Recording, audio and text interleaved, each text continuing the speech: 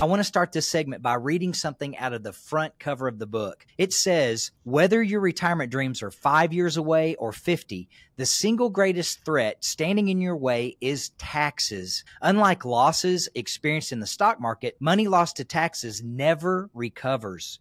With untaxed retirement accounts likely to become your largest asset, you face an explosive landscape of costly tax traps, penalties, and a complex maze of rules when the time comes to tap into those savings. So, Ed, in talking about your brand new book that's coming out on June the 11th, tell us about the broken promise. You mentioned the broken promise in the book. What is that? They said, well, you know, you get a deduction, you put money in your 401k or IRA, you get a deduction, and then you'll take it out in retirement when you'll be in a lower bracket but that's not happening. And a lot of people actually still say that to me. I talk about Roth conversions and say, why?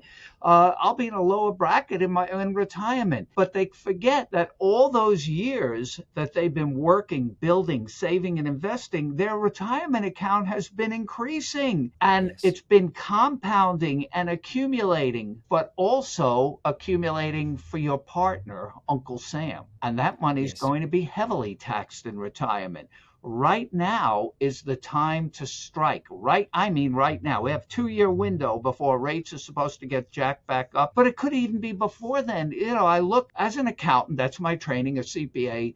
I, I was taught to believe in math. Okay, you know, math doesn't lie. right, numbers are numbers. I look at a as of this recording, a 34 trillion dollar debt uh, probably by the time you see it, if it, you're watching the recording, it could be 40 trillion. Who knows? Uh, right. I believe in math. The whole country is running on a credit card.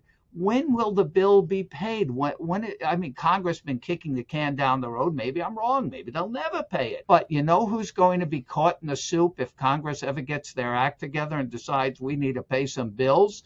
It's yeah. going to be the people with the most money tied up in IRAs and 401ks, and they are going to break that promise, and you'll be taxed into oblivion. That's my feeling that that day is coming. I call it Judgment Day, Tax Day. Yes, we played by the rules. You did everything right.